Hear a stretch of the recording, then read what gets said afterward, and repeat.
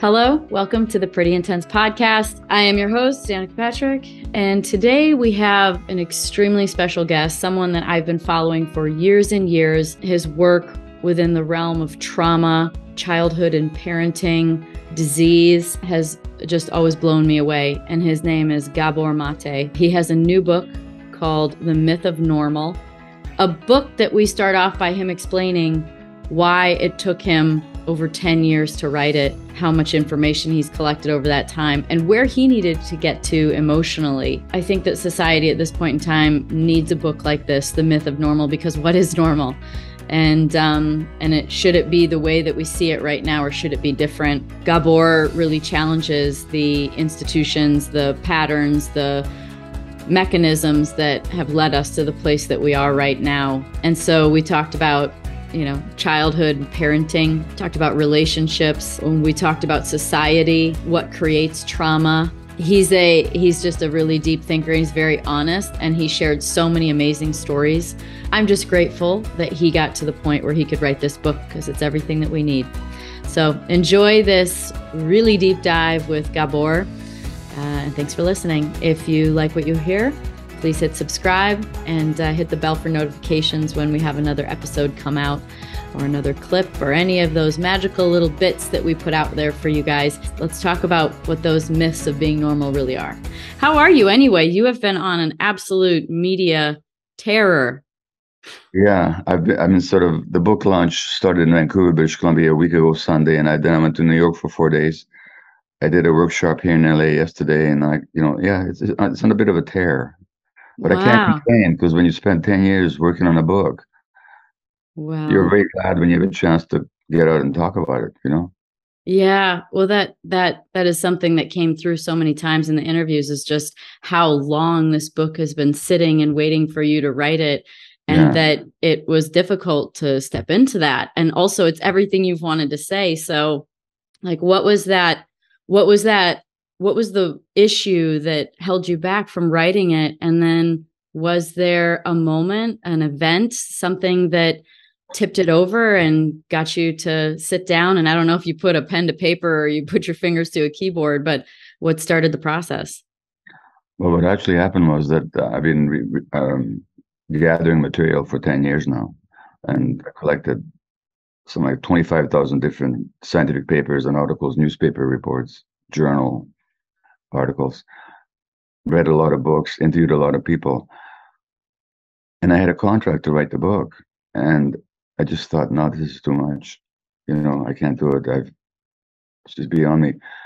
And what it really was is that I was so I was kept myself so busy because of my workaholism that there was no space in my brain to to generate something new and something as mm. solid as this. And so it was after a holiday with my wife in Costa Rica, which had a beautiful, relaxing time. Mm. And we're sitting in a hotel in San Francisco having breakfast, when all of a sudden, this new title, The Myth of Normal, just flooded into my brain. Mm. And a new inspiration, a kind of a new vision. The other, the other issue was that when I first started writing the book, my own healing hadn't got that far. So I had a bit more of a morose view of things. So the book that I've written now is very different than the book I would have written then. It's just I didn't see the possibility of healing. I I saw it for others, but not so much for myself. And so mm. that that negativity kind of infused the original version of the book, hmm. which it does this one. So I had to get, in other words, I had to certain, I had to get to a certain place of peace within myself and some space around it for the book to emerge, and that's that's what happened. Well, there was two things that I thought of as you were talking. One, you said that you had a very relaxing trip in Costa Rica, and for someone that has an issue with you, you said working too much, yeah. you finally relaxed. And then I also comes to a question that I wanted to ask you about whether or not we can meet someone beyond or treat someone beyond the level at which we've healed or where we're at emotionally as in if we don't love each uh, love ourselves can we love another um things so it's uh, i found there seems like there's a magic potion there between like being able to relax being almost the indicator that you had gotten to a point that you were healed enough to write it is that right well i think it works both ways um so, some of us there's this valve of compassion and love that sometimes just it opens outwards but not inwards. And so you can help a lot of people. Now you can't help them as much as you could if you were fully healed yourself or more healed. That's true. Mm-hmm. But I've often had the experience. I mean, this is my fifth book now. My other four have been published, you know, all over the world, and I get these emails from everywhere. Thank you. Your book changed my life, and my mm-hmm. response often was, "Thank you. Maybe I should read it myself." You know, in other words, so humble. Well, no, because because people describe transformations that they had that I hadn't experienced myself. So to some extent, it's possible to help others, but you can't take them as far as you could unless you're further along the journey yourself. So I think it, it, it does work both ways. How is that? Where do you find that information or that ability to connect to those spaces of healing and transformation having not been able to feel it yourself? You know, it reminds me of something that the great Russian dancer Nijinsky said about a hundred years ago. He was a ballet dancer, kind of mm-hmm. the Baryshnikov and Nureyev of his own day. And and he was asked about these incredible leaps that he was able to perform during a ballet sequence. And he said, when Nijinsky is there, it can't happen. It, it's something that just flows through him, but he's he's he doesn't create it. it. It's like comes through him, and so I think some people have. I have that ability to some extent to to channel something that comes through me mm-hmm. to other mm-hmm. people or to an audience that maybe I haven't grasped myself, and mm. nor, can I grasp it. You know. Um, so mm. I think mm. that's what happens is that there's a kind of channeling that happens. I'm not the only one that way. I know others, you know, who who can talk well and can help others, and something can come through them that's very healing and transformative, even. But they haven't got there themselves, and mm-hmm. that's always sad. You hmm. know, I don't recommend it, but it's possible. You know, I think that's what happens. Like, what is that? What is that that someone in this life comes in with this ability to connect and come out of your own experience and body into another space another another energy uh, mm. what is that well it's a mystery isn't it? You, you know you see it a lot. Actually you see it in artists and uh, performers. Yeah. Something comes through them that they can't manifest. Something even joyful and creative and and very positive that in their whole lives they can't manifest at all. Mm-hmm. But when they're when they're performing, it, it it just happens. I think that has to do with how some people are born very sensitive and they just connect more naturally with mm-hmm. something outside themselves. Um, mm-hmm. um, I also think it comes through a certain degree of suffering that maybe you've worked through, you know.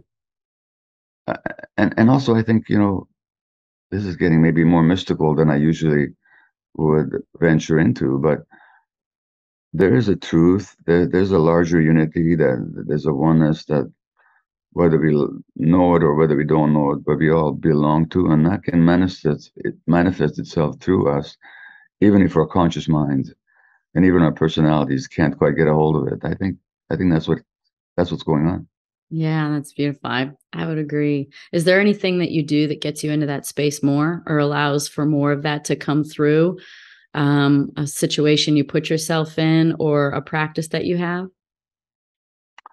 I'm I'm not disciplined enough to have a regular practice. I mean, I really do have an AD. I really do have an ADD brain, and and it, uh, it, it, it's a challenge for me to meditate or to do yoga regularly. For example, when I do, I but I don't keep it up as much as I know would be good for me. For me, that has come through psychedelic work, actually, um, which is not the same. I mean, as, as as just coming to it more spontaneously, but that is that has put me in those spaces sometimes, and that's been helpful for me. Yeah, yeah, I'm glad you brought that up because I I definitely want to ask you about that. Um, I've done it myself a few mm. different times. Um, ayahuasca, psilocybin, yeah, MDMA, very yeah. varying degrees of healing tools. Um, yeah. Man, is this the future of therapy? Is this the future of psychology and growth and meeting ourselves? Uh, I think that a loss of self is something you've said has been is a problem in society and what keeps us disconnected from from yeah. ourselves that loss of self through the environment that we're in these days.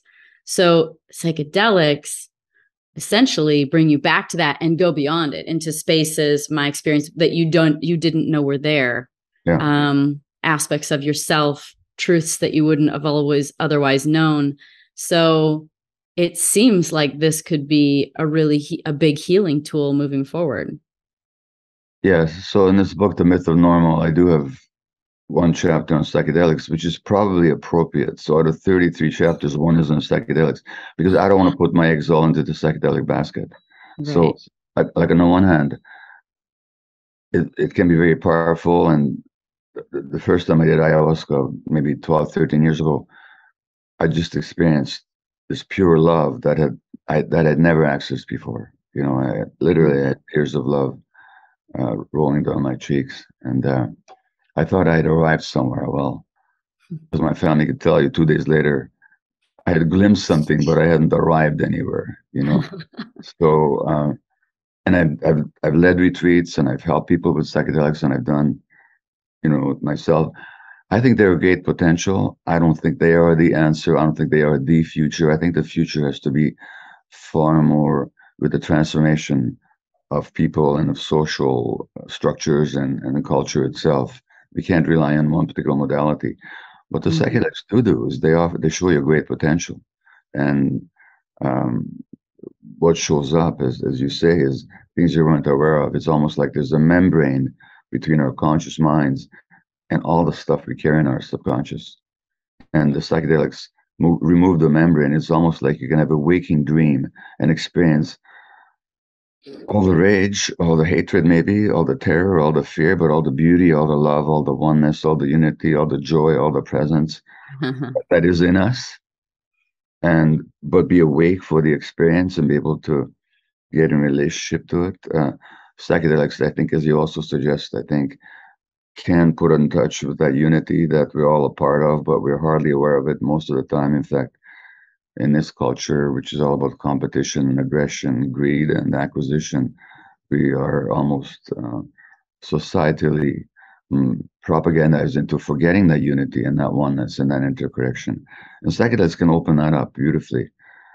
But then there's the rest of life, you know. Yeah. And what you glimpse and experience in the psychedelic space. The question is how to make those same values, which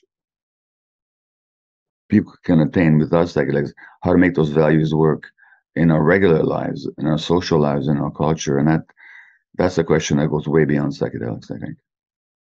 Sure. That's culture and society and the patterns that they keep us in yeah. outside of ourselves that pull us back in so quickly um yeah what do you think is the what do you think holds us back the most when we come out of that? Like we we get into these spaces we feel love and then we get back into our routine. Like if there were a few things to change what would it be? Like when you came back what what did you think this this this is this is what society pulls me back into the heart with with the hardest? I think there's two forces pulling us back into our ordinary, less unitarian, less connected self. One is just um, how our personalities are formed in the first place, which is very often, in my contention, the result of responses to traumatic events or traumatic pressures that happen to children in this society quite a lot. And so we form these defensive structures that we call the personality.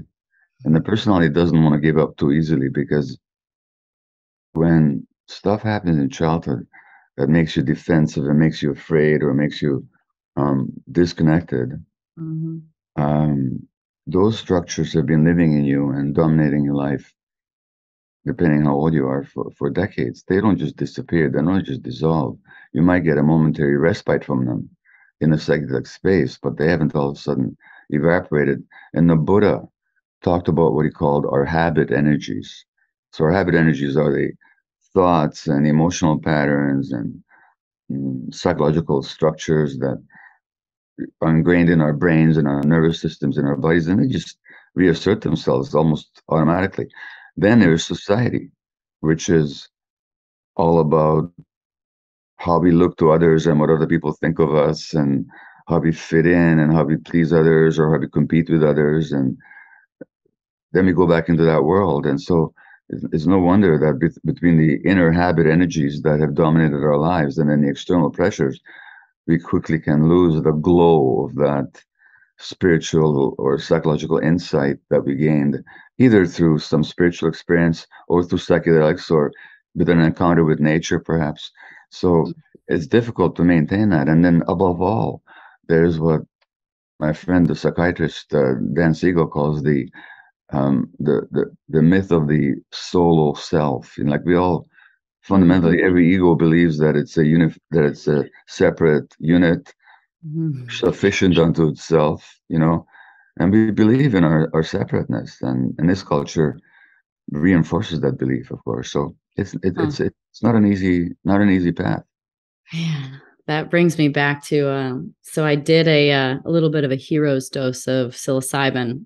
I took five grams, and it took me to a really distant place, and I went really far away. But one yeah. of the main things that happened in the experience was that, and it was facilitated. This was this was with a facilitator, and yeah. um, was that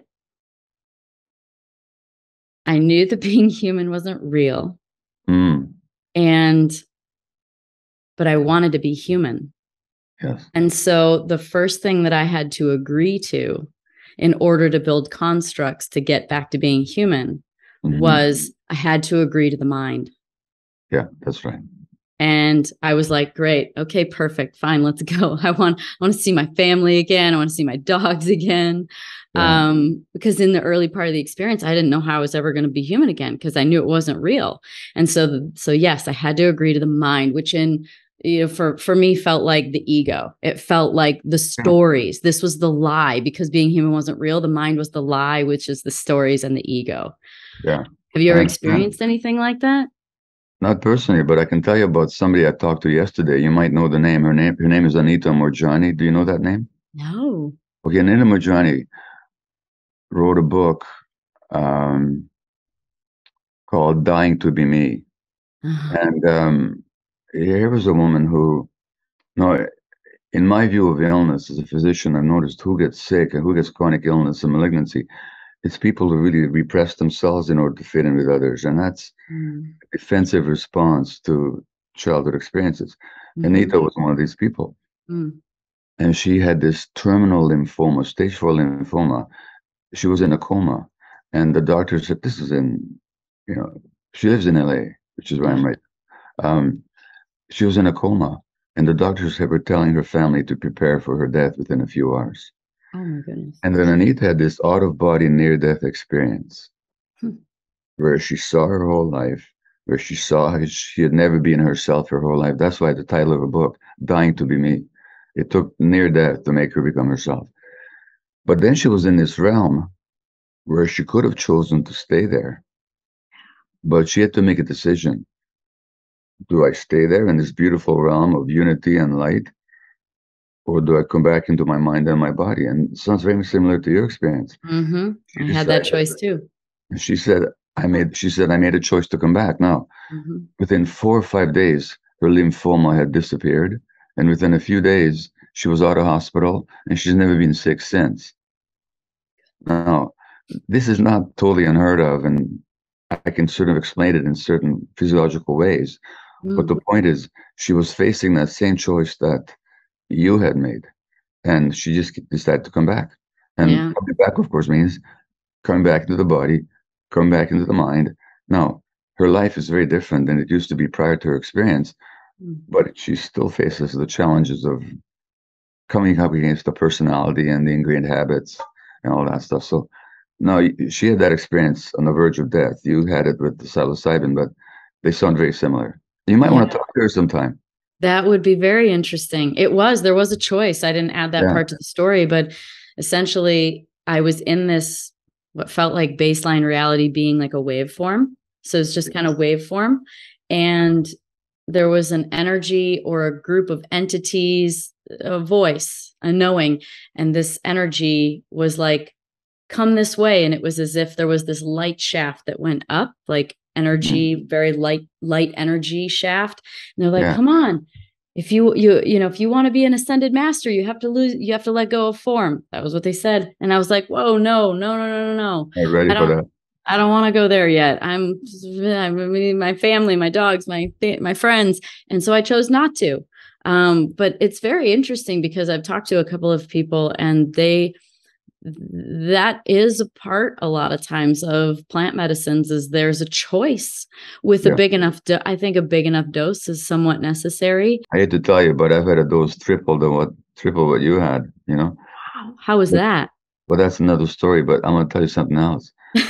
I, I heard you say some somewhere that relationships are some of the most important learning that you do you know? Sure. and um, so my wife actually had one of those experiences that you described, mm. not with psychedelics and not on the verge of death, but we were having a very difficult time in our relationship some decades ago. And she was really suffering. And um, suffering was very much had to do with how I was showing up or not showing up. Mm. And she surrendered to it. She's at some point she said, I, all I can do is surrender to it. And she had this direct energy of her form disappearing everything just becomes energy. Everything becomes unitary. She saw my perfection. She saw the perfection, the mm. perfection of this husband who was not being very kind or very nice at that time. Mm. So she had a very similar experience. So what I'm saying is that these experiences are of unity and energy, pure energy. You know, I can't describe it as articulately as she can, but she did a, that experience. So what I'm saying is that clearly there's something about us that that usually we're not in touch with that is capable of going to those spaces. Um, and it does not necessarily take psychedelics. It, it, in her case, nothing like that was involved at all. Yeah. yeah. So. Well, the other story didn't include psychedelics either. That was yeah. a near-death yeah. experience, but it wasn't. Uh, it was there was no substance taken no. to create no. that altered state. I agree. No. What's it going to take? I just have this theory that there's so much going on in the world. There's propaganda, there's lies, there's fake news, there's all these different things. And we, how do we know what to trust? And so the feeling I have is that we're being called to learn how to use our inner guidance system call it our conscience, our intuition, uh, in order to be able to be uh, essentially the lie detector for ourselves. What do yeah. you think about that? Well, I, I think there's a lot of truth in it. And the question is, what makes that so difficult? So, um, I do think that in this society, the way we raise children and the way we live it alienates from alienates us from our, our true nature. Um, see, mm-hmm. you never met an animal who's not in touch with their gut feelings and their intuitions. It's so true. You know, and and human beings, as they evolved over millions and hundreds of thousands of years, they lived very much in intuition, in, in connection with their bodies. I mean, if you're a hunter gatherer, which is what we were for most of our existence, mm-hmm. How long do you survive out there in the wild if you're not in touch with your gut feelings? not very long. So the question then is what happens in modern society that separates us from ourselves? Right. And that's where I think trauma comes in. So that mm. w- w- trauma for me is, is the essence of it is a disconnect from yourself. And, and that could be caused by people, you know, terrible things that happen, such as abuse and, and so on, or, or neglect where it's mm-hmm. too painful to be in your own body. So you disconnect as a way of survival, mm-hmm. which to me is at the basis, as a physician, in my view, it's at the basis of a lot of physical illness and mental illness as well. Um, but generally, how we raise children is like one of the needs of children, one of the essential needs of children, which we don't appreciate, is the freedom to experience all their emotions. Now, in this society, a lot of parents are advised that certain emotions are allowed in children and some are not. So children get the message very early that if I'm fully myself, if I'm completely myself, I won't be acceptable. Mm-hmm. But they have to disconnect from themselves in order to be acceptable to their families and to their schools and to their culture. Mm-hmm. And so when you ask the question about what will it take, I think what it'll take is for us to recognize just how traumatized we are and how disconnected we are and how, how we live our lives in this particular society, how we raise our children actually disconnects people from their true selves. And then it becomes a real struggle to reconnect. And sometimes it takes some very difficult experiences to to wake us up to just how disconnected we have become from ourselves. And uh, so I think it's a large social question that you're asking. No. Yes, people can work on it and they have to on the individual level. On the individual level, it's my responsibility to connect with my gut feelings and my authentic self. And uh, I can't wait for society to do it for me. But I think it has to happen both on the individual and on the social level as well. I mean, have you met a one day old baby that wasn't in touch with themselves? Right. You know, right. so in other words, something happens, doesn't it? We're yeah. born that way, and then something happens to disconnect us. And we have to look at what are the things that disconnect us from ourselves and how do we reverse that very tragic trend. The environment that we raise kids is so much different than it was in times of the past where there was a community, there was elders, grandparents, aunts, uncles, cousins, there was a whole community. And so now it's you get one or two hopefully people that are imprinting or projecting their own patterns onto you and what they think is good or normal. Uh, and in the past there used to be 20 yeah. How big of a problem is that? Well, you just summarized several chapters of my book. um, so there's a story I like to tell that I read recently. Um, in my book, The Myth of Normal, I quote a psychologist. Her name is Darcia Narvaez, and she now retired as a professor at Notre Dame University. Mm. And she mm. studied hunter-gatherer groups. Mm. And and and and indigenous people how they parent, and they parented exactly the way you described in communities children had many parents. I mean, they knew their biological parents and had a special relationship with them, but they were really parented by the whole community. So they felt very safe, very contained, um, very connected.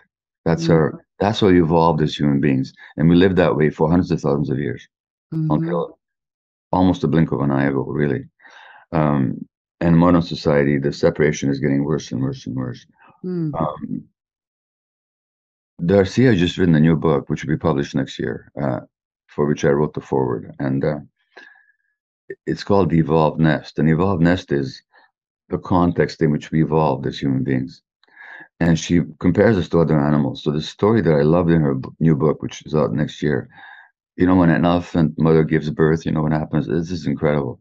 Mm. So when the mother elephant goes into labor, all the other mothers stand in a circle and when the newborn hits the ground, they all stroke the newborn with their trunks. Wow. So birth itself was a communal experience. Wow. You know, and huh. that's certainly meant to be the way it is for human beings. So in the book, I have a chapter on prenatal experiences.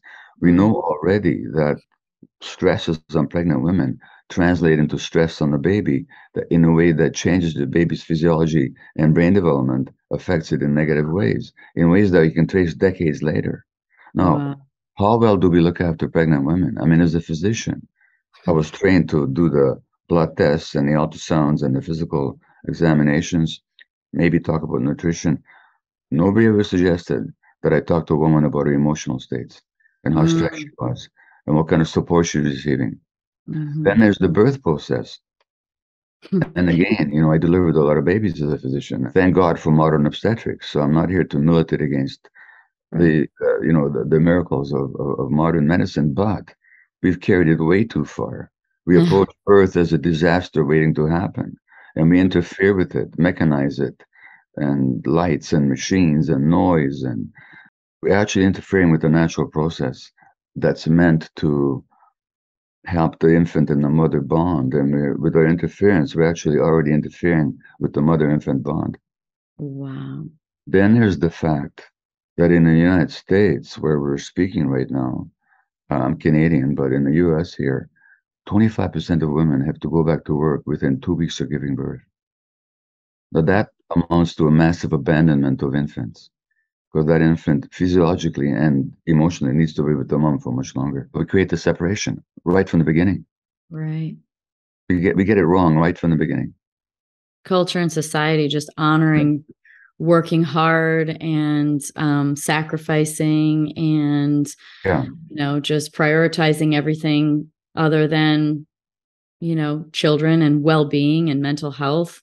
It's all about status and money keeping your job getting a promotion. Well my friend the um, i don't know if you know him his name is Raffi. He's a children's singer. Um, he's a ch- world famous children's troubadour. He sang at the first Clinton inauguration, and it's just a mm-hmm. world famous children's singer. Um, generations of kids have grown up singing his songs, and he was telling me that he was lying there in bed at night, maybe 10, 15 years ago, and all of a sudden he, he, sat up bolt upright, and his thought, child honoring, came into his head, and he said, hmm. "What if we had a society that honors children? If we just ask ourselves." What hmm. does it take to create a world that honors the real needs of children. We would do everything differently. Yeah. The foods we sell kids, or the, the products that you know, we wouldn't be pushing addictive devices on them at an early age. We wouldn't be separating from the mothers at two weeks of age. Mm-hmm. Just that very question of what would it take to create a world that honors the needs of children. Turns out that's how Aboriginal people, Indigenous people actually lived is they lived in a way that honored children well i know you've spoken so much about um, children and um, holding them when they're crying and yeah. Um, taking care of their needs. Um, so what is it that creates a securely attached child? Sure well i think you told me you have dogs is that right? I do. What does it take to create a secure attachment with a dog?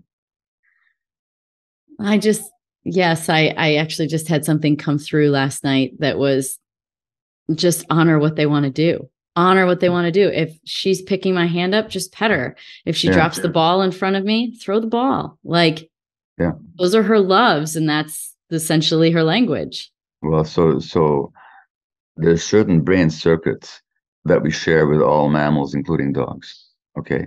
Now, um and those brain circuits that's our biological, psychological nature, they dictate that children have certain essential needs, what I call irreducible needs, needs that if they're not met, they lead to a distorted development and, and, and, and lack of health.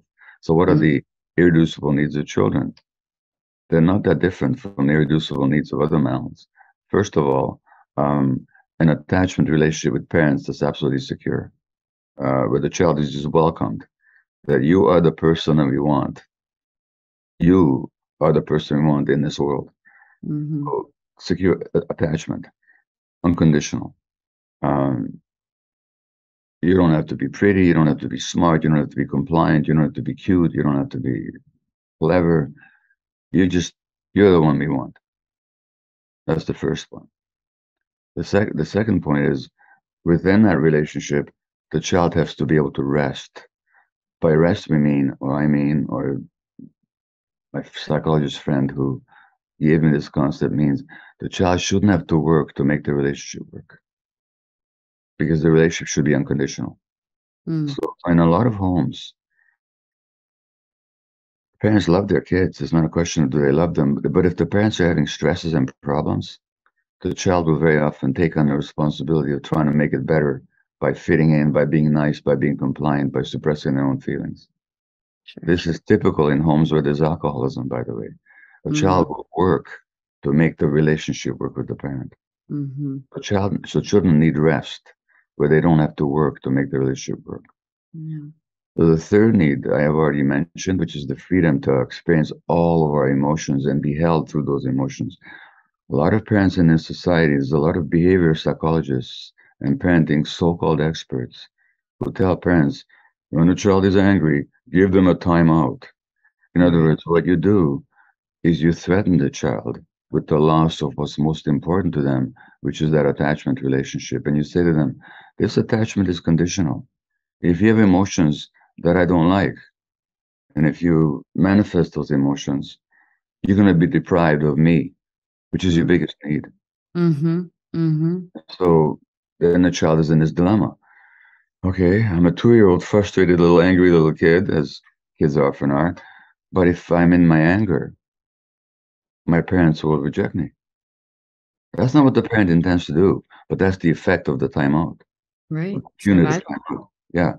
So the child will then suppress themselves, disconnect them from themselves in order to maintain the relationship. So the third need is the freedom to feel all our emotions.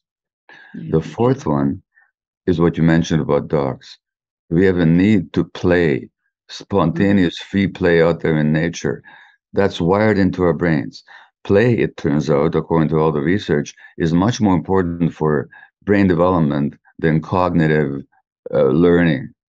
Really? And so there's all this stuff about baby Einsteins and teaching kids uh, all this stuff early and, you know, video games to promote brain development. It's all nonsense.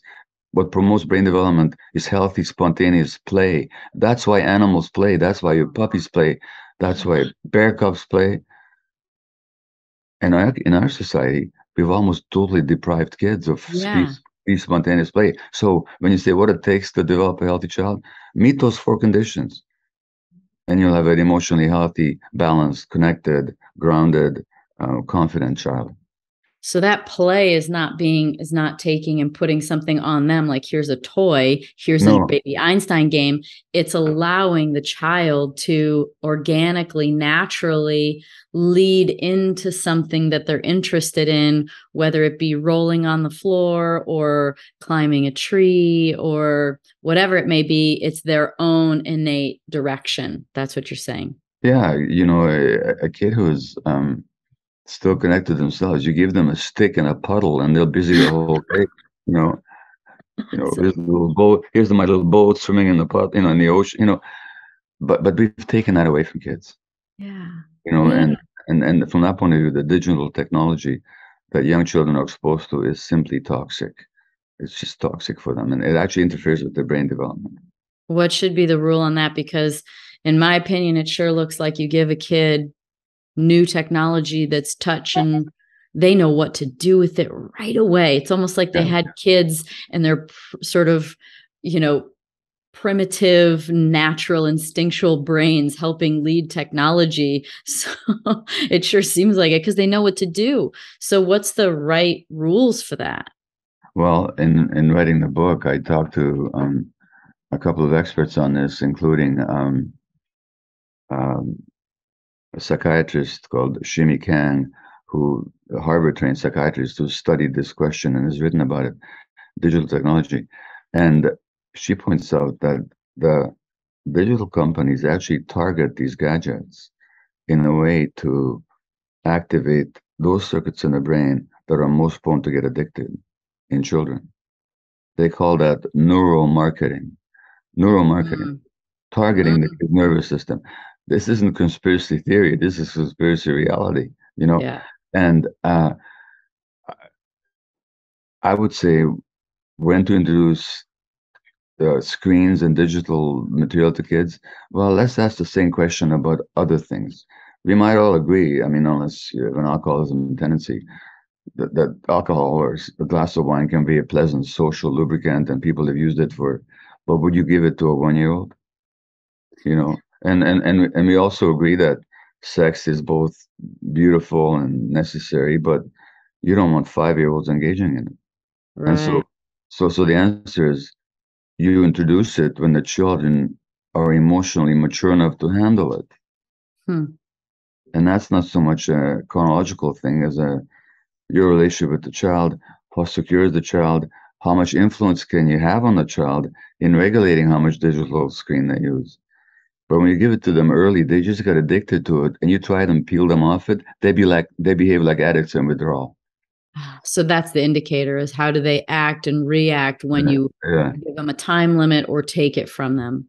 if I was a parenting now, I would not have a screen in my house except in my office until my kids are well into their school age years.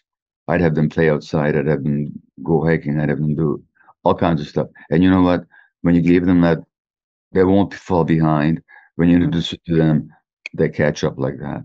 And if they're grounded in themselves and self-regulated, then you can give them the machinery, and you're no longer afraid that they'll be seduced by it. Mm-hmm. Well, you know, the first thing to get cut in school is like gym class now. So, uh, yeah. uh, and art and art.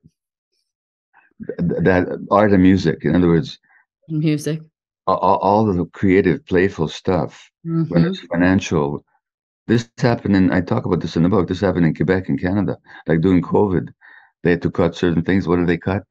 They cut gym. They cut art. They cut music. Mm-hmm. Now you ask people, you ask most people, most adults, compare the importance of music in your life to the importance of algebra. What would they say? You know? Oh my gosh. I play music all day, every day. It's helped guide my energy. but educationally, we get it all backwards. Yeah. We put the intellectual and the left brain cognitive ahead the ahead of the emotional right brain creative. Mm-hmm. Again, it's just a negative influence on child development. Right. What are the I've always I've thought of this many times. There's a couple of topics that fascinate me. One of them is children. Um, well, both of these two topics that fascinate me the most. One being children. I don't have kids, and the other one I don't have either, which is anxiety. And so I'm fascinated by them because I don't understand them. Um, so one of the questions, as my sister has three girls and about yeah. to have her fourth, wow. is yeah, is of course what creates a securely attached child. But then also and now I'm going to get to a question I was going to ask you early, early, which is do we all have trauma? So, may I say something about anxiety first, since you mentioned yeah, it? And of course. Yeah, we can talk about that for sure. With the trauma. So, in our brains, we have certain circuits that we share with animal, animals that I mentioned, emotional yeah. circuits. Mm-hmm. We have one for anger, we have one for caring or love, we have them for lust, we have them for play, we have them for seeking. We have them for fear. Um, we also have a circuit for panic and grief. Okay. And the reason we have that is because when a young child loses the parent or the parental contact, they should experience panic and grief. Sure. Because that will then make them vocalize and cry for the parental presence, which should set the parent running. Yeah. Support the child. Yeah. Now, in a culture that tells parents not to pick up their kids when they're crying in order to sleep train them, that panic and grief circuit gets overactivated. And, and in, in the culture of disconnection, when parents are less and less because of this, not because they don't love their kid, but because of the stresses in their life and because of the loss of community that you talked about early in our conversation. Adults are less and less available for kids kids develop a lot of panic, a lot of anxiety. So, it, so if you look at what's happening with children right now, more and more of them are being medicated for anxiety and ADHD and self harm and mm. uh, problems, and more and more children actually are committing suicide, according to all the studies. You know, there's something happening on a cultural level that makes our kids very anxious, and that something is the loss of connection to uh, a nurturing adult community. You know, so now, there was an article in the New York Times mm, three weeks ago, as we speak now, front page article about this teenager who's on 10 different psychiatric medications. 10 Holy crap. medications. And this is a trend in the United States, especially because we've so lost the plot when it comes to raising healthy children that all we can try and do, according, well, not all, but the dominant tendency is just to diagnose kids with these disorders and to medicate them rather than dealing with what is making them so anxious in the first place. Why right. can't they, you know, no. To come back to your question about trauma, then, uh, in this society, I mean, the title of the book is The Myth of Normal Trauma, Illness, and Healing in a Toxic Culture. And my contention is, is that very few of us escape without being traumatized to one degree or another. Now, to explain that, I'd have to tell you what what I see trauma as being. Because yeah. if you think of trauma as only terrible things happening, which they do happen to a lot of kids. I mean, a lot of kids are abused uh, physically or emotionally or sexually. There's studies, several studies now recently, that show that just spanking kids can be as traumatic as physical abuse. Right, right. Because of the way you register it. Because the way the child registers it that the people that um, the people that are meant to provide him or her with safety are not hitting them.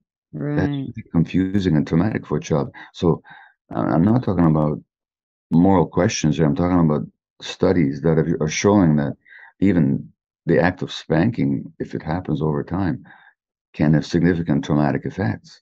So, mm-hmm. so trauma is what happens when terrible things happen. But if you look at the word trauma itself, what it means is it's a wound, it's a psychic wound. And you can wound kids not only by doing bad things to them, but also by not giving what they need, by depriving them of their emotional needs. Mm-hmm. Now, for mm-hmm. reasons that we already talked about, so many kids are wounded. But you don't pick up a child when they're crying, you're wounding them. Because, like any animal that that cries for the parent, try, try and tell a mother baboon not to pick up their infant when they're crying. Mm. Try and tell a mother bear not to respond to the infant's distress. But we mm-hmm. tell parents this all the time. Mm-hmm. Mm-hmm. You know, mm-hmm. so that to me that's traumatizing. That wounds the child psychologically. So in this society, I don't think I think there's a real trauma spectrum, and I think most of us mm-hmm. find ourselves on it, someplace or another. I I certainly have, but so do my children because problem with trauma uh, is that we're not aware of it, they haven't worked it out. We, un- we un- unwittingly pass it on to the next generation, not because we don't love them, not because we're not doing our best, but because our best is limited by our own trauma. So I think in this society, it's rare to see um, people who don't carry some degree of trauma is that like a big T, capital T, lowercase t kind of traumas where it says things that are super, that are much more aggressive, like rape yeah. or abuse versus, you know, just taking a toy at the wrong moment or not being picked up at the right moment. Um, not, that not, is that sort of the separation? Yeah, yeah, or yes, or, or the scale or the not, spectrum. Not, not, not being picked up, um, not not having the emotions honored and recognized yeah. Not being held. And, and let's let's say a little kid is upset, and and the parent unwittingly and well-meaning says, "Get over it," you know, no big deal. That's not what the child needs. Mm-hmm. Right, right. Well, know, it's projection. They, it's just they, projecting. They, they need to be have the experience that the parent can stay calm and regulated to the child's upset, mm-hmm. not react, and hold the child through the upset, so the child learns that yeah, I can have suffer pain and distress, but it passes. Mm-hmm. You know, and I can handle it. So the children learn self-regulation by the adults being self-regulated and helping to regulate the child. Because as you know, as again, Dan Siegel, the psychiatrist I mentioned, points out, the the child learns self-regulation by employing the more mature circuits of the adult brain. Of so, the parent or themselves? Of the of the the child uses the more mature circuits of the parents' adult right. brain right. to help regulate their own immature okay. brain circuits. Well, that so, can be really tricky depending on what the parents like. Well, that's the whole point. so if the parents are not supported and self-regulated, the child never develops self-regulation. So the point is not coddling kids, it's not coddling. It's just holding them and loving them and helping them learn that they can move through these difficult states and mm-hmm. they pass and they can handle it. Mm-hmm.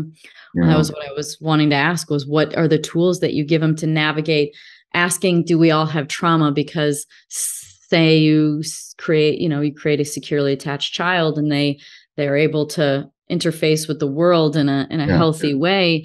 Um, but in, it seems from my experience and an opinion that everyone has trauma. So even when if you're able to raise those unicorn children that are securely attached i don't know where they are um, but i'm definitely not one of them but what is mm. it that you teach them as a skill um, to be able to have the tools later in life to be able to deal with a pattern that's unhealthy that they want to get out of which is essentially from for me what has been my indication of a trauma is a yeah. pattern that repeats that i just finally notice yeah.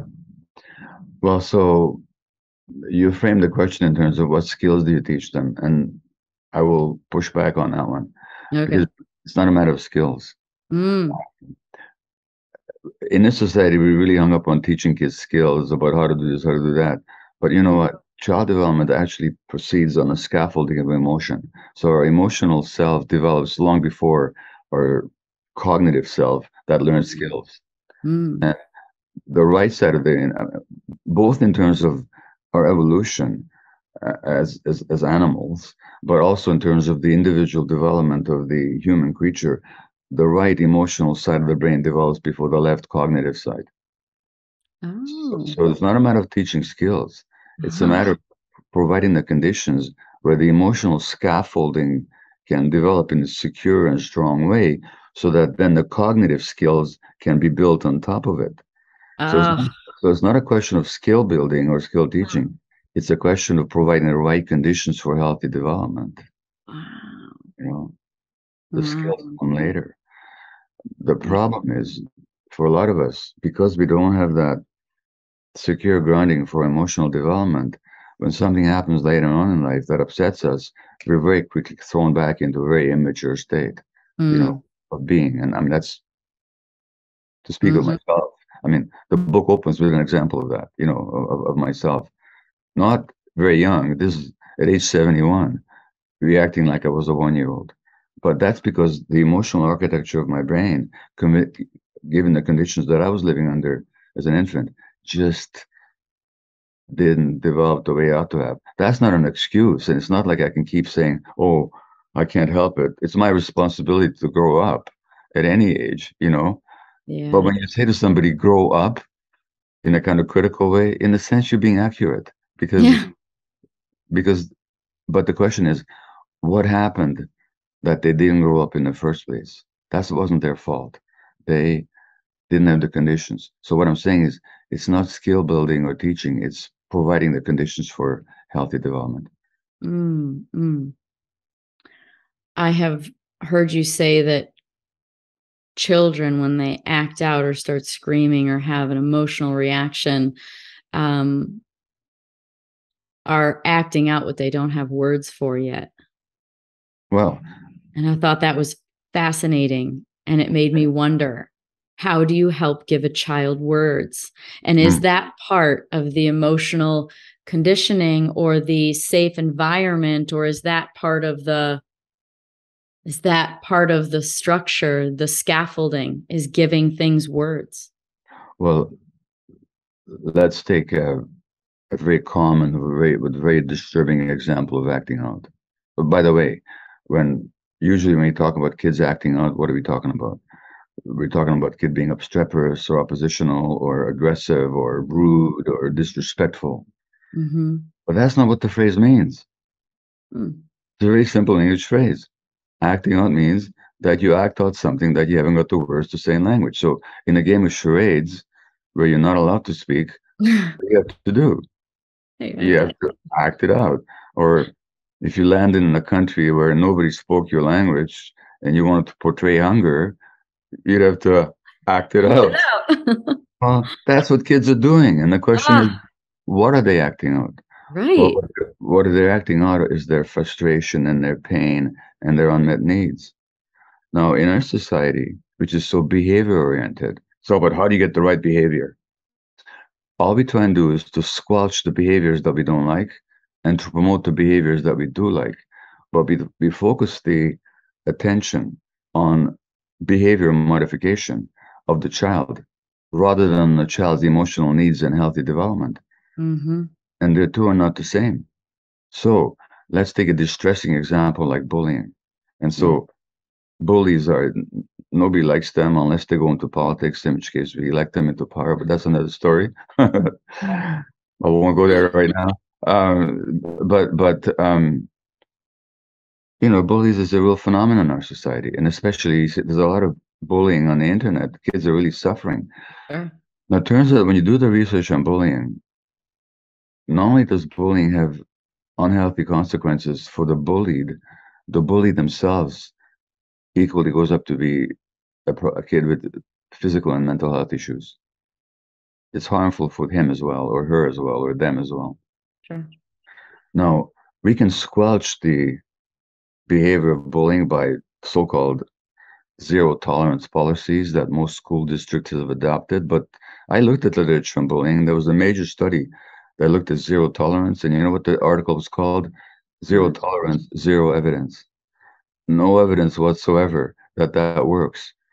The reason it doesn't work is it doesn't address what the kid is acting out. Now, what is the kid acting out? Oh, a need, A need for a need for connection, a need Yeah, to be need seen, need to be understood, need to be need, a held. need, need for a need to make, make a need to be important. Yeah. You know? And why does the child have a need to be important? Because the adults in their lives are missing. The adults that need to make the child feel important, not because of what the child does or how they show up, but just because they exist. That's missing for those kids. And you always look at their backgrounds, something missing for them. And Mm. so then the, the, the- the way you deal with bullying is not through separating from them and banishing them, but by giving them strong, powerful, loving adult attachments. Right. You know, in other words, you don't respond to the behavior, you respond to the need. And that bully, when you give them that, they transform very rapidly. Very Yeah. rapidly, you know.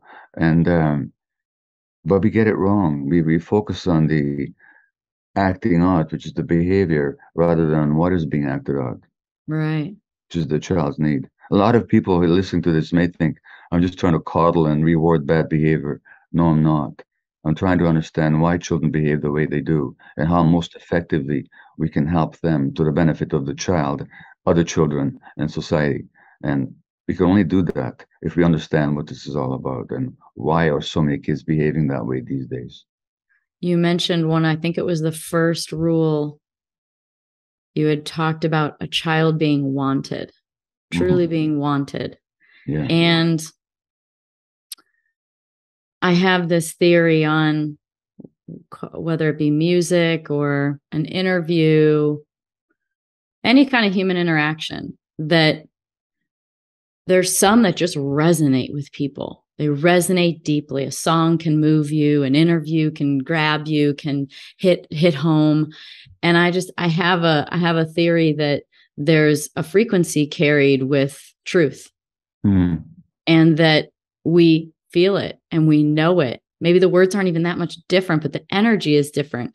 And so I wonder if that is one of the big issues is whether or not a parent and this is hard to probably ex- uh, very hard to face if you were a parent. I'm not a parent. Um do you really want that child? Yeah. Like, is the frequency of your information in truth? Like, are you just doing the right thing, just saying the right thing, but not feeling it? And in your experience, have you noticed any correlation between the truth of the Oh. information and what they're saying, and there not being a connection? So, therefore, the child doesn't feel it, even if you're doing the right things? You can love a child, you can genuinely love a child. But it, if at the same time there's any part of you that doesn't want some aspect of the child, the child would feel that.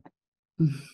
Kids are very sensitive. They be able, they may not be able to articulate it, but they'll sense it, and they'll experience it as a wound.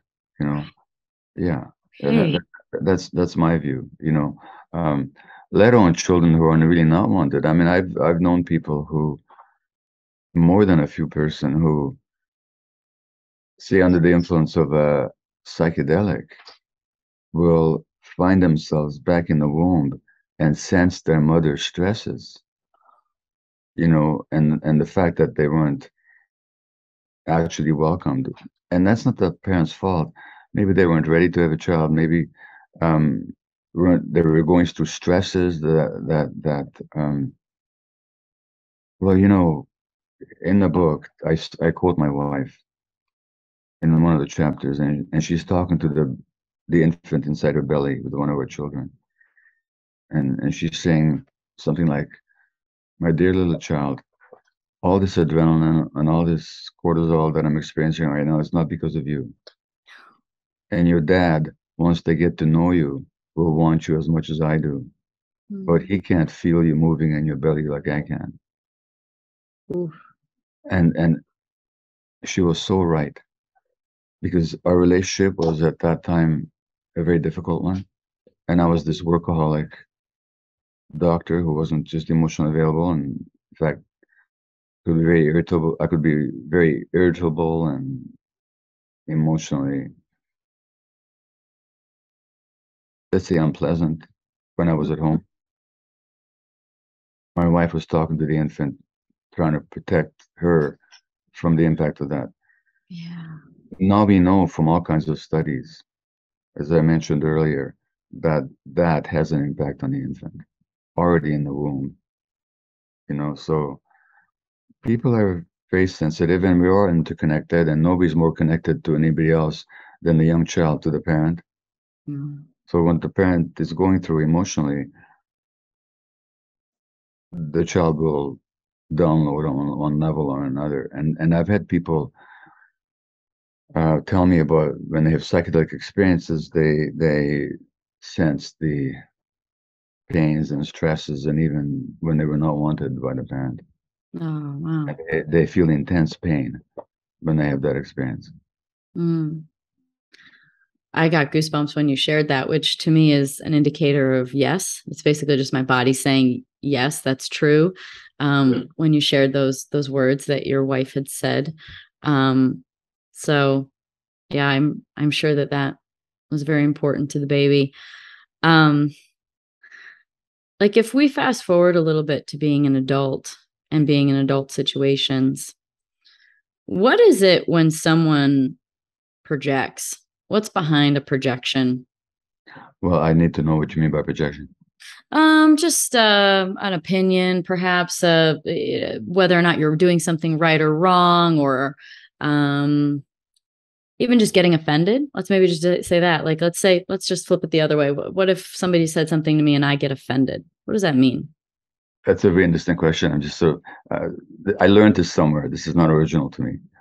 But um, what if I complimented you right now on your beautiful green hair? What would be your reaction?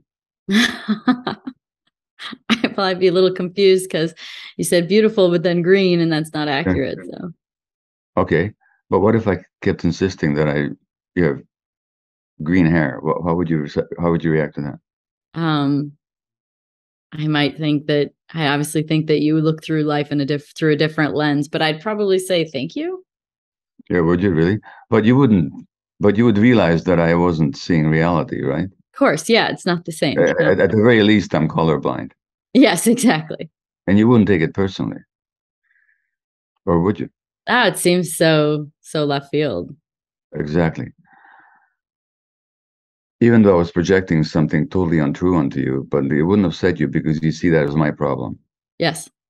Okay. However, I may say something else to you that is equally a projection, but if it's a place where you've already been wounded before, then you'd get offended. So um, if somebody calls me stupid, I, I don't get offended because I happen to know that I'm pretty bright, you know. Right. So I have no I have no insecurity I have no insecurity about my intelligence. Mm-hmm. But there are things that people can say to me that'll get me offended because maybe I've been wounded there before and I don't quite and somehow I buy into what they're saying on some level, and that's what offends me. Mm-hmm. So, um, yeah. To put it another way, uh, when I'm offended, uh, it's because there's something in me that got touched that I haven't resolved yet. Otherwise, I would just see it as a projection. You know, I wouldn't take it personally. Mm-hmm. You know, um, you know so that word. indicator. So it's an it's indicator an, of a wound. Exactly. That's that's what I'm saying. So we we have this word called triggered. We're triggered, right? Yeah. Yep. So, and I often talk about this. So, a trigger, when you look at what a trigger actually is in real life, it's a very small thing on a big weapon, mm-hmm. which carries ammunition and an explosive charge. Now, if somebody triggers you, it's only because you're carrying the ammunition and the explosive charge. That explosive charge, where you explode, is precisely where you were wounded a long time before, and mm-hmm. you haven't healed the wound yet. Otherwise, you'd never be triggered. Mm-hmm. There's no mm-hmm. ammunition or explosive charge there. Somebody can pull the trigger all they want, nothing will happen. Mm-hmm. So, so the question then is, do we put our attention if we want to take responsibility for ourselves, if as adults we want to grow up, and by the way, most of us adults have to grow up, you know, um, um, if we want to take responsibility for our growth, we have to realize what is the explosive charge in me. In other words, what is the wound that's unhealed? And if I heal that wound, that projection will be seen as only a projection, as their problem, you know, nothing to do with me. But if I haven't healed that wound, I'll be triggered and then I'll blame the other person for triggering me. But actually, I wouldn't be the only one to point out, or the first one to point out, that these people that trigger us, they're our best teachers. Amen. Be- because they they let us know, and this happens in relationships all the time, doesn't it? And lessons are never easy. No, no, they're not. They're painful. Uh, so I guess it could be said that projection is just it's very much the same. When you project something, it's a wound being poked, essentially, um, whether it be the way something is done or the way somebody said something. Um, maybe they said something like, "Hey, what are you doing?" And maybe it just triggers something from childhood, and that it puts you into this space where you then project, "I'm doing what I'm supposed to be doing," because maybe you, as a child, were criticized for doing things wrong all the time, and so there's essentially the projection is just a complement to triggering. Is that true? Well, exactly. And so, like I, when I think about it, people questioning my intelligence would never trigger me. Right. But but, but I can be, but but I can be triggered when I think about it. So when when people criticize me for saying things that I never said, you know, or when they interpret my words in ways that are totally opposite to what I intended, mm-hmm. I notice that if I'm honest with myself, that can set off something in myself. Why? Because one of my childhood wounds was not being seen for who I was. The children need to be seen for exactly who they are. Yeah. And I wasn't.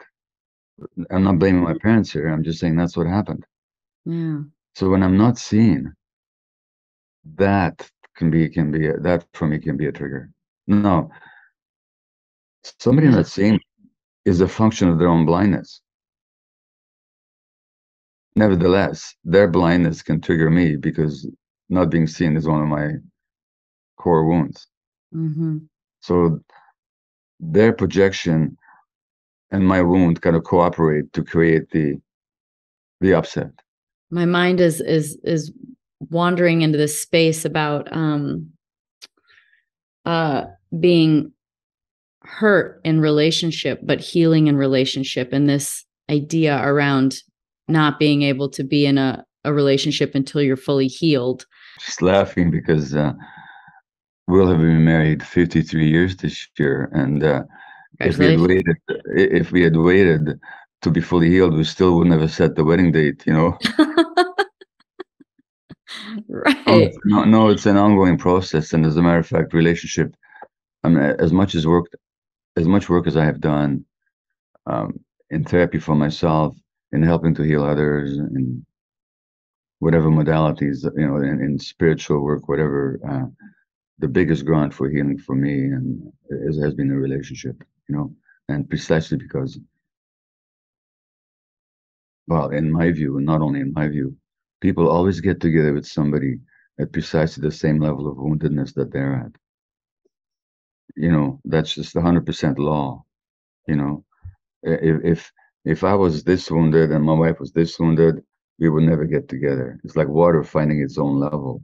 But that Oh, also means can we then do we have the consciousness and the commitment to growth and to truth to want to heal together and support one another as difficult as it is and as conflictual as it can get do we have the commitment to to grow together or do we just expect the other person to soothe our wounds Mm. And be upset when they don't you know so i'd say that the strength of our relationship has been that we've as much as we've had difficulties and my god nobody neither of us would say that we're healed but boy we've come a long way and and it's been the biggest grind for our our, our development is, is has been a relationship Mm. no no don't wait until you're fully healed if Yeah. you do nobody would ever get into a relationship how do I find someone? Damn it.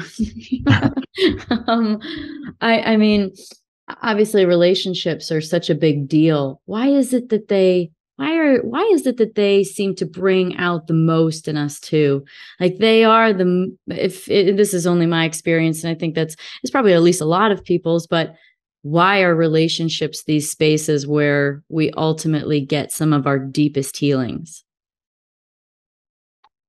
because intimate relationships. Yeah. Well look danica you're a very public figure. It's impossible not to know something about your history of relationships you know? Right right. in this culture that's the nature of the celebrity culture that we live in you know? Right. Um so let me ask you let me ask you a question in a couple of ways okay? Um one is in relationships that you've been in i'm not asking for names or anything like that but did you ever have a sense that something is not quite right? Mm-hmm. Yeah. Even a gut sense, even before the relationship got too far ahead. Mm-hmm. Mm-hmm. What did you do? What did you do with that gut sense? Mm, yeah. I'm asking. I, I I said I did. I felt like it was just a paranoia or yeah. Um, other words, you ignored your own gut feelings. Yeah. Okay. Now, that ignoring of gut feelings is what gets us into relationships that ultimately can't work. Okay. Mm. So it's not a question of how do I find the right person, it's how do you pay attention to yourself. That ignoring of gut feeling is not anybody's fault. It's nothing to condemn or judge yourself for. That's an outcome of the childhood experience that I was talking about, uh-huh. where we get disconnected from ourselves. And so we no longer even know or pay attention to our gut feelings. So that's the first part of my answer. Mm-hmm. It's just never mind looking for the right person. Get to really know and trust yourself. And don't let your mind and don't let your mind dismiss what your guts and your body and your heart is telling you. Okay. Wow. That's, so that's yeah. the, uh, so that's the first answer. The second answer is that we always choose people, and this is not original to me. There's a wonderful family therapist called Harville Hendrix, H E N D R I X, and he's been on Oprah multiple times, and he's wrote a wrote a book called Getting the Love You Want. And, mm-hmm. and, he, and he points out this, he wrote this book after several failed relationships, by the way. Uh, he, uh, he points out that when we choose a partner, we always choose somebody that'll carry some resonance of our childhood relationship to our parents.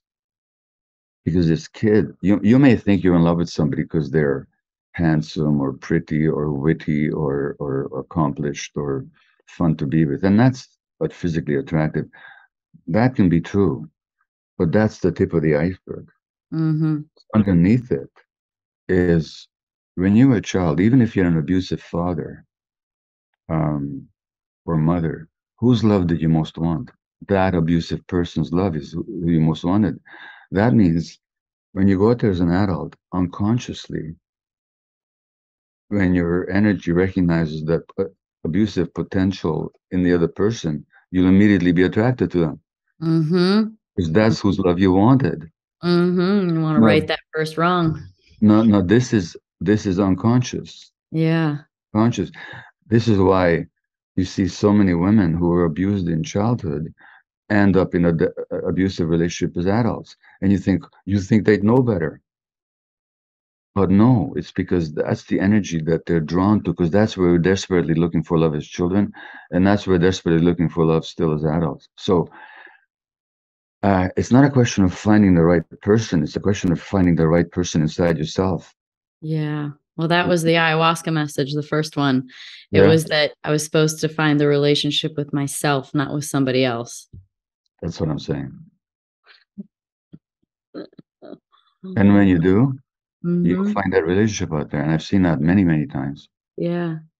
Yeah. And that was the message too, is that you still get everything you want, but yeah. it has to be with you and you first. That's right. That's right. Yeah. Yeah. Relationships, they're very interesting, such great teachers. Well, in all of your work, um, I'm curious what surprised you the most. What is the best and worst surprise? Maybe that's even better. What surprises me is how blind I can be, despite all I know. That's uh, that's always the big surprise, you know, because I've learned so much, you know. yeah. and and, and yet I can still be sometimes so blind. and that's the biggest surprise. It's always surprising when I think I know something and I and then I know what I thought wasn't right and and how I experienced this didn't really correspond to what happened. It was I was still projecting my own interpretation own interpretation into the experience. So that's the biggest surprise is how um, mm, even after all the learning that I've done, I can still have a distorted sense of reality. Mm-hmm. Hmm. So much to learn. What about from other people? Have other people surprised you or learning more about human yeah well experience? so well absolutely. Look um in this book the myth of normal I, I i talk about people who real people that i know whose histories i i'm familiar with who've gone through incredible illness uh to find themselves you know Hmm. that, that whose diseases rather than killing them has led them back to their authentic selves.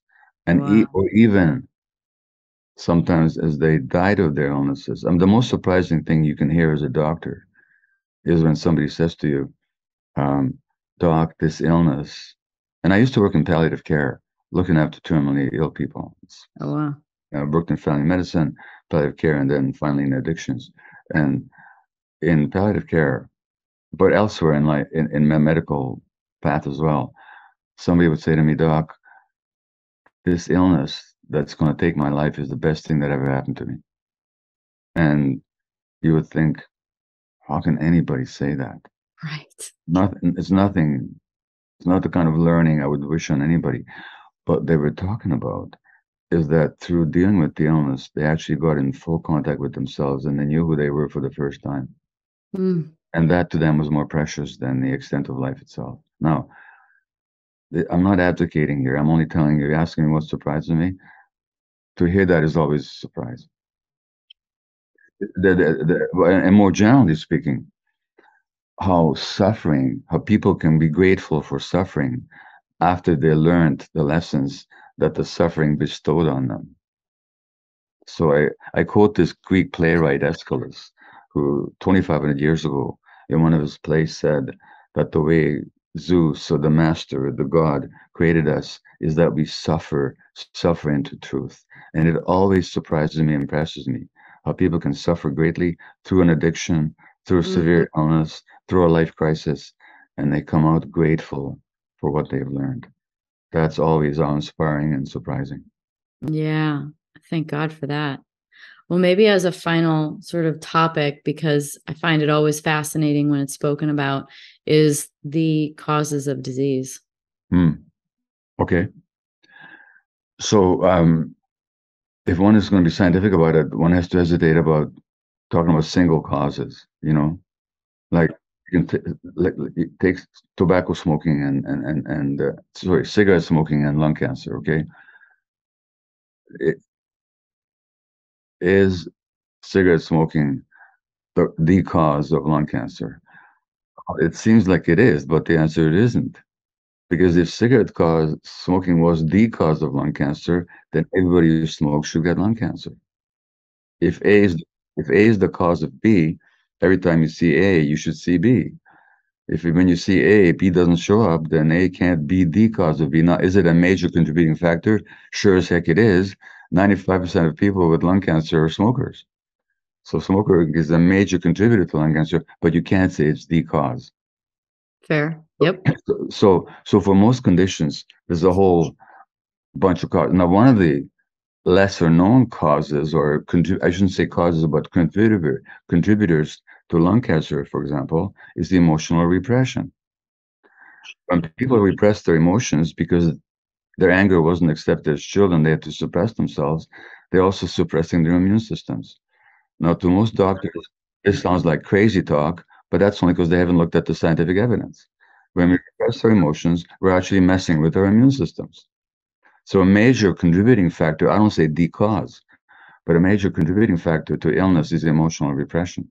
And um, for example, if you look at autoimmune disease, uh, like rheumatoid arthritis or scleroderma, lupus, um, fibromyalgia, um, multiple sclerosis, 70, 80% of people with autoimmune diseases are women.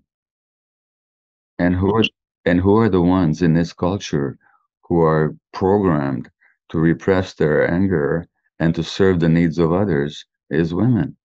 Yeah, and, for in, and in my, in my and in my contention, that's a major contributor. Not only is it my contention, I can and do cite all kinds of scientific evidence to show that. So when we talk about causes, we have to look at the multiple things. Obviously, there are causes in the environment. I mean, we live in an environment that's so full of toxins and pesticides and who knows what. We, you can't even keep a track of it. You know, um, dietary factors obviously contribute. You know, the unhealthy diets that people in this society often um, consume. You have to consider that as a cause. You know, what I'm interested in is something that's largely ignored in medical practice are the emotional and psychological factors that contribute contribute to illness, and for which there's a lot of evidence. So when I talk about these things, I'm not saying that these are the cause. I think they're amongst the causes, but the important ones and the reversible ones. So emotional repression, being inauthentic, not being in touch with your emotions. Uh, if I looked at my own experience as a physician, and then I looked at all the studies, which had, nobody told me about in medical school, but they're out there, published in major journals, by the way. So this is not mumbo jumbo medicine I'm talking about. There are four characteristics of people that get chronically ill that I noticed. People that automatically and compulsively serve the emotional needs of others while ignoring their own. Okay, number one. Number two, number two, a compulsive and rigid identification with role and duty and responsibility rather than needs of the self. You know, so um, that, that's the second one. The third one is the repression of healthy anger.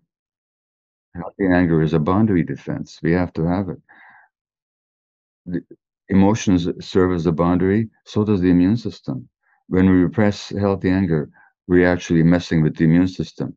And again, that's not my fantasy. That's what the studies show. That you enter because, and this is because, and you know, I could talk to you about this for a whole day, but to encapsulate it, mind and body can't be separated. So the big, one of the huge mistakes that Western medicine makes is it ignores the science that shows the mind body unity. And it's all one. In fact, why do they do that?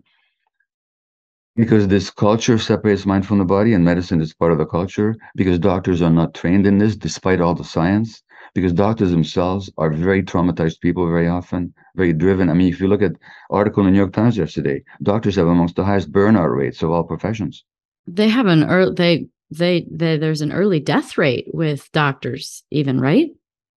I that may be true. I don't know. But what I can tell you is when you look at the markings of aging in medical students, they age faster than their other people their age. Wow. So doctors are just simply not trained to understand themselves. How would they understand others? You know? Hmm. And there was a revered medical teacher at Harvard. His name is Soma Weiss. He was so revered that to this day at Harvard University, they have a memorial day in his honor okay? And he taught in, in the 1930s. And in 1938, Soma Weiss gave a lecture to a medical school class, which was published in the Journal of the American Medical Association in 1940. And he said that emotional factors are at least as important in the causation of illness as physical ones, and they must be as important in the healing of them. He said this in 1938. Four years ago, a physician right now at Harvard, who's still there, very well known, told me that talk about mind body health at Harvard is to jeopardize your career. He says it's changing, but it's still very difficult. So I'm telling you, medical culture is like no. Since Soma Weiss made that statement in 1938, there's been what eight decades of research showing the mind-body unity, and that's almost completely ignored in medical uh, in medical training. So no wonder then that these emotion, uh, given the mind-body unity and the inseparable um, oneness of our emotional apparatus with our immune system and our hormones and our nervous system, when something happens emotionally, of course it happens physiologically. It can't be otherwise. Right. So the final characteristic of people that get ill then are, are people who believe that they're responsible for other people feel and they, they believe they must never disappoint anybody. And these people with these four traits, it's not magical or mysterious. It's very stressful to be always serving the needs of others. It's very stressful to be repressing your emotion, your mm-hmm. your anger. It's very stressful to always trying to please others. These people tend to get chronic uh, illness. A lot of trapped energy. Yeah, it, that's exact suppressed and trapped energy. Now, notice I didn't say this is the cause. I'm saying it's a major contributing factor and when people get ill, they often learn not to be that way anymore, and often they can heal. You know, and um, wow. lots of lots of examples of that as well. So wow. that's, that's what I've learned in my both in my medical practice, but also you know through the my vast, or I should say, my traversal of the vast literature that's out there. Well, it connects to the very beginning of the conversation with um, being met emotionally and being able to emote and be supported. And that's such a loop to adulthood and the things that we face and the challenges that we have.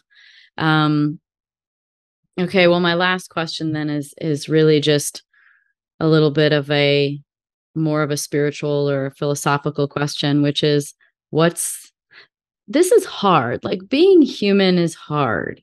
You think so? Um, I think that there are, I think that it is you know, I, I originally, if you'd asked me what what I thought the point of all of this was, it was to experience duality, which is essentially going to imply that there's challenges and there's joys, yeah. um, pain mm. and joy. Um, I don't know if I always still completely believe that, but but I think that there are. I think by by nature, it seems like this setup of an experience of being a human um, does provide a lot of contrast and there's a lot of and there's there is there is pain in there and we can't see ourselves and we have to it's very difficult to see ourselves and so we we get it reflected back from other people and that can create a lot of confusion because again you can't see yourself that well. So really the question is is what's what is the point of this? What is the point of this glorious and painful uh, ex- experience of being a human the reason I laughed when you said that it's hard to be a human is because um, I've kind of I've said this before publicly, but I've concocted, I've written my own epitaph, and uh, on on my gravestone it's going to be carved. It was a lot. It was a lot more work than I had anticipated. What's the point? You know, the mind can't answer that one because the mind can say some wonderful things about that. Um, but um, I, I think that's a question that everybody can only answer for themselves. And I, I don't think um, anybody can prescribe it for anybody else. But I would venture to think that you have either found an answer or at least approximated an answer that reflects whatever stage you're at right now in your life. So if I said to you, is there a point to existence? I don't imagine you'd say, no, it's pointless, would you? Of course not. No. Okay. So that means that there's something in you that is either have found a point or is convinced or is confident that you'll find it, yeah. you know? And that's not the mind. That's your whole experience, mm-hmm. you know, mm-hmm. Beyond the mind. And I would say, I could talk about the, the point of my existence, but I can't talk about the point of anybody else. But I think it does have to do for all of us on some level with this connection that we're not isolated creatures, that this separate soul self is not all there is to us, and that the point someone has to do with the very fact that we are, that that we exist. So our point of existence is our existence, and that but but but but that existence is um, much greater than the mind would ordinarily imagine it to be. Now, there's just something that came up to for me in response to your question. I don't know if that's the truth or not, but it's just what occurs to me when you ask me. You know. Yeah. Yeah. Yeah. Enjoy the ride. Yeah. Well, thank you. You too. Yeah. Thank you very much. I've followed your work for so long and I was so excited to talk to you. So thank you for getting up early to do it. Well, it's a pleasure. Thanks very much. Thanks everybody for listening to the Pretty Intense podcast today. I hope you enjoyed it. If you like what you heard today and you want to hear more, please click on the subscribe button.